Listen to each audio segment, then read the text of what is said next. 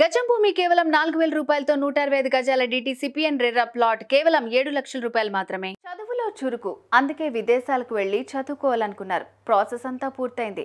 మరో పది రోజుల్లో కెనడాకు విమానం ఎక్కాలి. అందుకే చుట్టాలను ఫ్రెండ్స్ను పలకరిద్దాం. మళ్ళీ ఎప్పుడొస్తానో ఏంటో అనుకున్నాడు. కారులో ప్రయాణం మొదలుపెట్టాడు. కానీ అనుకోని ప్రమాదం అతని ప్రాణాలు తీసింది. ప్రయాణిస్తున్న కారులోనే కాలి బూడిదయ్యాడు.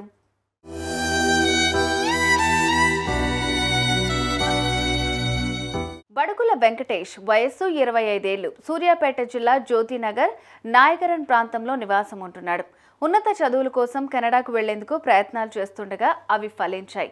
మరో పది రోజుల్లో కెనడాకు వెళ్ళేందుకు సిద్ధమయ్యాడు. ఇక వెళ్ళేలోపే తన స్నేహితులను కలుద్దామనుకున్నాడు. అలా సూర్యాపేట నుంచి హైదరాబాద్లోని నానక్రామ్గూడకు కారులో బయలుదేరాడు.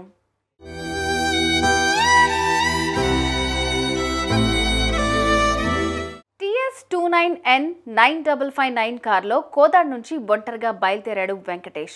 గచ్చిబౌలి వచ్చేందుకు రామోజీ ఫిలిం సిటీ దగ్గర ఓఆర్ఆర్ ఎక్కాడు. అప్పటికే ఫుల్గా నిద్ర రావడంతో ఓఆర్ఆర్ పైనే కారు పక్క కాపాడు. చలిగా ఉండడంతో హీటర్ ఆన్ చేసుకుని నిద్రపోయాడు. అంతే హీటర్ నుంచి వస్తున్న వేడి కారణంగా కారులో మంటలు అంటుకున్నాయి ఆ విషయం తెలియక గాఢ నిద్రలో ఉన్న వెంకటేష్ అలానే పడుకుని పోయాడు. ఇంతలోనే పెద్ద శబ్దం కారు నిండా మంటలు అంటుకున్నాయి. దీంతో కారు ఒక్కసారిగా తగలబడింది.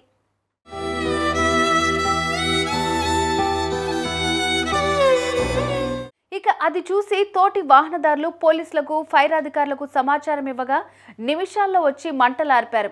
కాగా కారులో వ్యక్తి సజీవ దహనమైనట్లు గుర్తించారు.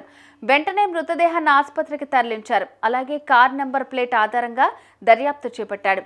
మృతుడిని వెంకటేష్గా గుర్తించారు. విషయాన్ని అతని కుటుంబ సభ్యులకు తెలియజేశారు.